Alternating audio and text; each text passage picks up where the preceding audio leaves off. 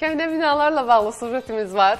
Köhnə binaların qiyməti ucuzdur deyə, əslində Camaat ucuz ora- idi deyə Ay, cümləmi düzəldim. Düzəlt cümləni. Çünki indi ucuz deyil. ucuz idi deyə insanlar istər-istəməz yeni tikililərdən çox köhnə binalara üz tuturdu. Amma vəziyyət elə gətirdi ki, artıq köhnə binalara maraq deyirlər ki, yeni binalardan da çoxdur. Biz də niyəsini araşdırdıq ki, nə məsələdir? Niyə köhnə binaların qiyməti artıb? Bu maraq nədən qaynaqlanır? E, mütəxəssislərdən soruşduq, bu işi bilənlərdən soruşduq. Gələcəkdə nə gözlənilir? Elə bu evlərin qiyməti arta-arta gedəcəkmi, yoxsa bir dur deyən olacaqmı? Nə olacaq? Nə başımıza iş gələcək? Araşdırmağa çalışmışıq.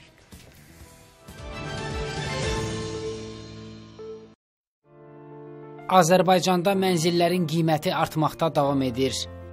Əvvəllər 2 otaq Xruşov layihəli 60-65 min, 70 minə qədər idisə, indi hal-hazırda mikrorayonlarda 2 otaq fransız layihəli mənzillərin qiyməti 80-85, bir otaqlı mənzillər isə əvvəllər 55-60 min manat idisə, amma indi hal-hazırda 70-80 civarında dəyişir. Hazırda mənzil bazarında diqqət çəkən məqam odur ki, köhnə binalarda mənzillərin qiyməti aşağı-yuxarı elə yeni binalarda olan qədərdir. Xüsusən 1-2 otaqlı mənzillər və tələbat da bu gün daha çox köhnə binalarda olan mənzillərədir.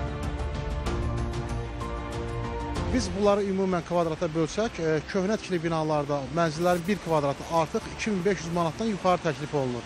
Hansı ki, həmin ərazilər üzrə yeni tikili binalarda tam təmirli mənzillərin 1 kvadrat metri ortalama 1500-2000 manat arası dəyişir. Köhnə binalardakı mənzillərə tələbatın daha çox olmasının bir neçə səbəbi var. Köhnə binalara tələbatın artmasının əsas səbəblərindən biri ondan ibarətdir ki, həmin mənzillər pilot layihələr üzərindən sökülür. Mənzil sahiblərinə sökülən binaların yerinə yeni tikili binalardan təmirli mənzil verilir e, və bunun satış qiyməti köhnə mənzildən daha baha qiymət təklif olunur. Çox təzə yeni tikili binalarda çıxarış yoxdur. MTK rəhbərliyi ilə e, vətəndaşlar arasında müəyyən problemlər yaşandığına görə biraz güvən azdır bəzən çıxarışsız evlərə. Bir əsas səbəb də var ki, kommunal xidmətlər həddən artıq çoxdur yeni tikililərdə. Yeni bina yoxsa köhnə bina? köhnə binalardan. Niyə? Köhnə daha yaxşıdır, çünki təzənin təzə problemləri var, çoxdur problemləri. Məsəl üçün elə hələ oraya elə köçməmişdən əvvəl problemlər var, atırlar. Bir görürsən bir mənzilin 2 yoxu 5 dənə daxılısı var. Köhnə bilirsən ki, nağdı da aldın, girdin. Amma təzədə təminatı deyirlər yox. Gah qazında problem var. Köhnə yoxsa yeni bina? Hansı üstünlük verəsiz? Köhnə binalara. Səbəb?